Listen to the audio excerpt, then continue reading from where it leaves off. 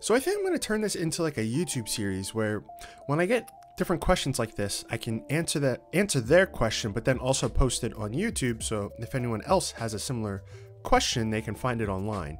But let's just jump into what you actually asked.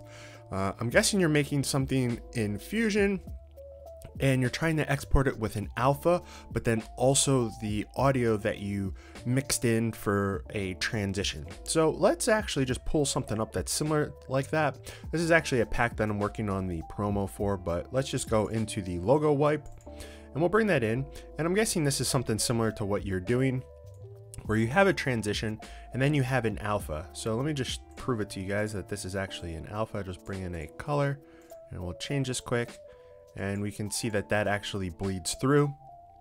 So this video track here, you want to export it, but then let's say you want to add audio to it. When you go over to the deliver page, so if we would come over to the deliver page and we do individual clip and then export alpha, what ends up happening with this, where a lot of people get confused is when the renderer goes over anything when you're on the individual tab, or excuse me, individual clip renderer, it's going to render the source audio instead of the timeline audio. So there is a little bit of a roundabout way to fix this.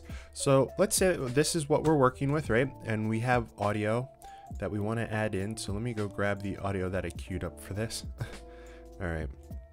So here's my audio and we have a little bit of audio. Okay, great. All right. And let me just cut this off here at the end so we don't need that. What we're going to do is because currently this track here, when the render goes over, it's going to look at this track and there's not going to be any audio to it. Um, because the audio track here is, you know, separate. So what we're going to do is we're actually going to turn this all into one uh, clip. And to do that, we're just going to highlight, right click, and we're going to go to compound. And what that's going to do is it's actually going to make a compound clip here. So when the renderer goes over this, it's going to say, okay, now I'm reading from compound clip 3. Is there any audio that goes with compound clip 3? And as we can see, we have compound clip 3 audio.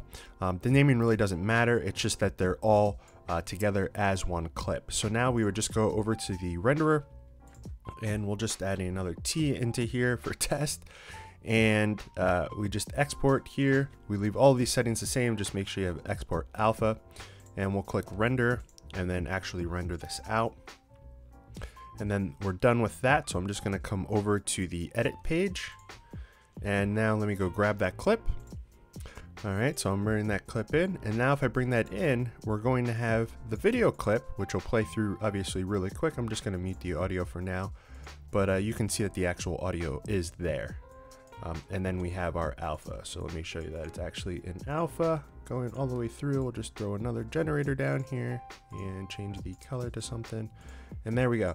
So now we have our transition with the uh, alpha and audio all in one clip.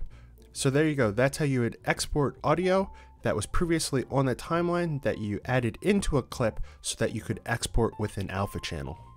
With that being said, my name's JR, and thanks for watching.